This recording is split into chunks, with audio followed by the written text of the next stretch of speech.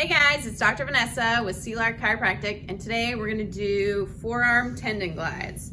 So we're gonna get your tendons that go through your forearm into your hand, we're gonna get them moving through their full range of motion. So what we're gonna do, you bring your arms out to a T, you're gonna externally rotate your shoulders, palms up. What you wanna do is spread your fingers, extend your wrist and your fingers down towards the ground. Then you're gonna try to do one finger at a time, kind of roll your hand up into a fist, squeeze, and then you're gonna reverse. One finger at a time and extend. And then roll back up, squeeze, and one finger at a time, roll back down.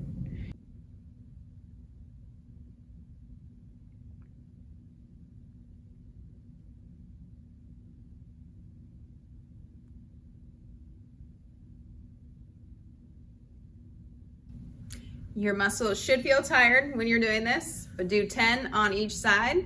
And if you found that useful, give me a comment, a like, a share, and have a great day.